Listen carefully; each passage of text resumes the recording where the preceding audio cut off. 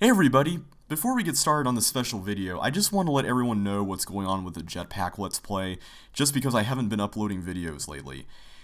Essentially, it has nothing to do with the game, it's got everything to do with a surge protector that randomly goes off in my room and beeps incessantly for at least a couple minutes non-stop.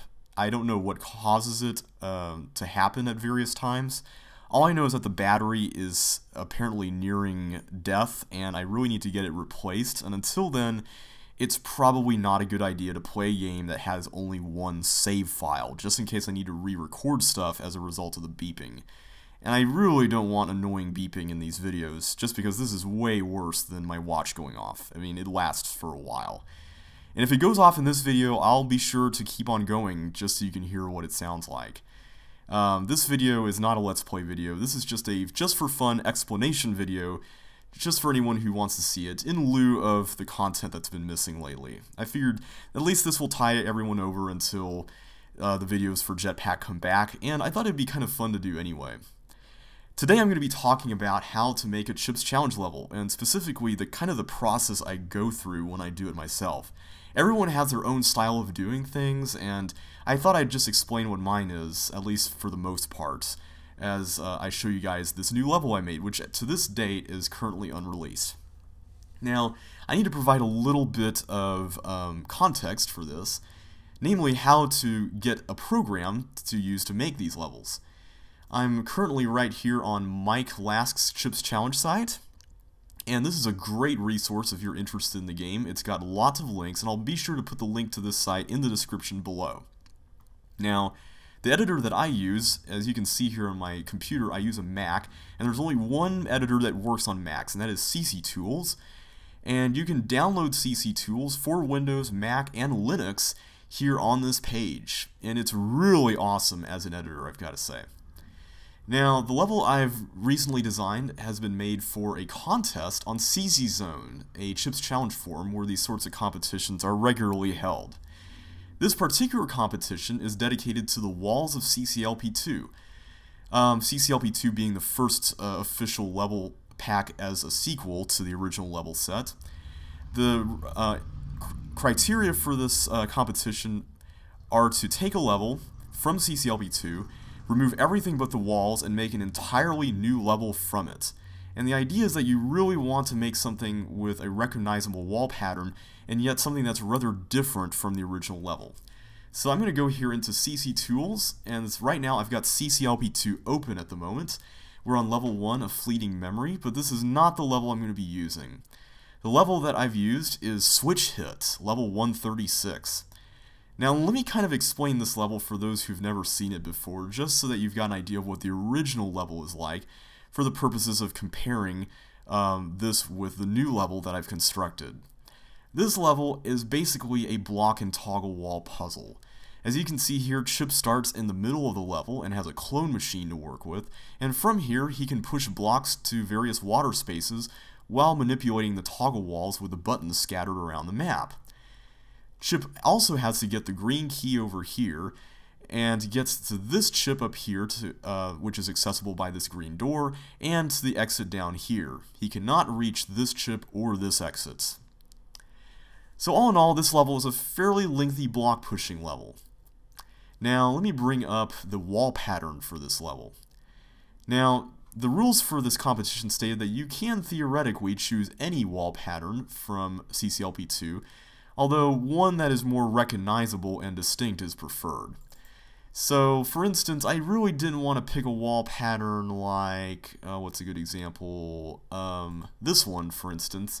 I suppose this isn't the worst example, but this wall pattern really doesn't exactly uh, hold much significance. I mean, this could be a part of any level, and it doesn't exactly trigger many memories of this particular level in the game. But Switch Hit, on the other hand, has more walls going for it. So it's at this point along uh, my thought process that I had to stop and ask myself what kind of level I was going to make. Now, there are several different types of gameplay styles in Chips Challenge, and typically when I design a level, one of the things I try to do is I try to decide what kind of gameplay I want the level to exhibit primarily before I get started. And there's all kinds of gameplay types just by virtue of Chips Challenge being a very versatile game with a lot of elements. There are pure collecting missions where you scatter a bunch of chips all over the map and you have to go around and get them and then go to the exit. There are survival type levels where you don't have to get anything at all, but you have to find the exit and hopefully you get out in time. There are levels that are more maze-like in structure, levels that involve a lot of monster dodging, some predictable and some much more unpredictable, levels that involve swapping items, uh, and puzzle levels that involve blocks and other elements and how to manipulate them. Now, looking at the wall pattern in this level, I suppose just about any of these things would work, but typically when I make monster dodging levels, I try not to put them in close quarters unless there's some element of predictability in place. So for instance, having a ball going down this long hallway down here at the bottom probably wouldn't be a good idea just because it's very hard to tell when it's coming. It's a lot better to at least have these sorts of, if there's going to be unpredictability, have it be in a space that's a lot more open. And if you are going to have more close quarters things, at least have the monsters be going in patterns that can be easily observed from one location. This isn't a universal rule or anything, but it's something that I try to um, recognize when I build levels like this. I suppose levels that involve bugs or paramecium might work in a context like this where there are little isolated wall islands like this, but for the most part I just don't really see a very interesting monster dodging level happening here with this wall pattern. Instead, I think a maze might be more ideal. Now, I could go with a simple item swapping maze, where, say, I set up a red door here, a blue door over here, you know, some element type thing over here where, you know, I can get to another thing behind it, and so on and so forth. But to be honest, the level still kind of looks a lot like the original one. There's really nothing aesthetically that differentiates it from its uh, predecessor except for the fact that there are no toggle walls in it. So I decided, okay, if I'm going to use this rather recognizable wall pattern, and keep things in close quarters, I should probably make the level look a lot different. And that's when it hit me. I thought I'd make a level with a underground kind of theme going for it, with lots and lots of gravel. And there's a level that I kind of had in mind as far as inspiration is concerned, and that is mining for gold keys. The, I think, 29th level, if I'm not mistaken, of Pit of 100 Tiles. And if you've watched my Let's Play of that set, then you know which level I'm talking about. It's also in CCLP 1 as well. Let me show you the level that I eventually came up with. Right now it's called Chilled to the Bone, and here it is. So as you can see, this level has a few things going on. You can see that we start down here now, and the objective is to get the chips and eventually the blue keys needed to get to the exit. Now, I tried to be a little bit um, distinct with the aesthetic I had going on because I didn't want to just totally rip off mining for gold keys. I thought this level needed its own distinct identity. And so before I started designing, I thought to myself, what tiles did I want to put in here um, that could serve as the predominant tiles in the level, basically.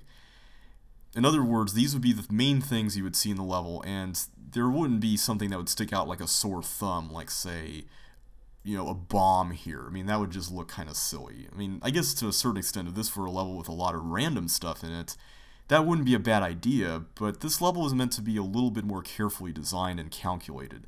Sometimes random levels can be really good. I'm not the best at designing them. I think some people like, say, Rock Generu, for instance, are way better at doing that. But I tend to make more calculatedly designed levels. And uh, sometimes that can be good and sometimes that can be bad. But in this case, I wanted to make sure that everything contributed to this very cold aesthetic. I put ice strips around the level like this. I put blue walls and water so that there would be blue elements as well. And for a while, I was considering the possibility of putting in walkers that were supposed to like function as ice crystals. Like, for instance, I would put gravel under them, and the idea, whoops, the idea would be that you weren't supposed to touch these. But after a while, I thought, you know, that looks like a little bit overboard, and I really want to have some freedom here when it comes to movement. There need to be some areas where you can be a little bit more free to move around, like this one, and you're not just stuck in some claustrophobic single space-wide corridor. So I decided to kind of leave things as they were and just pepper the level with some ice when it needed it. So here you can see that the big obstacle to navigating the level are the blocks and the water. And a lot of the challenge of this level comes from making sure that each block that you can use goes to the water that it's supposed to be used on. And I've tried to make sure that this isn't terribly obtuse just so that the player doesn't cook the level by accident, but there may be some cases where it's a little tricky. Now, there are some cases where you need to turn blocks, and in, in these situations, I've put obstacles like chips in the way, or blue walls like this one, so that you can only approach them from one side, simply to make sure that you do that before um, you collect the items. So for instance, I'm up here, I come down this way, the block is right in this space, I cannot reach the chip with the block in the way, so I need to go ahead and put it in the water where it's supposed to go anyway in order to get that chip. It's just things like that that help to make sure that no more mistakes are made and they reduce the possibility of failure, since there is some failure possibility as is by virtue of hazards like water and some situations where you could theoretically get killed, like here at the beginning, or not the beginning, but over here. If you push this block up, you are going to get killed by it coming back from hitting this blue wall. So one of the things I also want to do when designing this level is to make sure that dead ends weren't exactly two ways. In other words, well, maybe that's not the best way to put it, but in other words, what I'm trying to say is that whenever you got to the end of a path, you didn't have to go all the way back. In other words, you could open up a path that serves as a shortcut to where you came from. And for this one, I'll illustrate this up uh, with this point with this thing up here. So let's just say you go, you want to get to this chip and you can't get there because there's this water blocking the way and there's this block, right?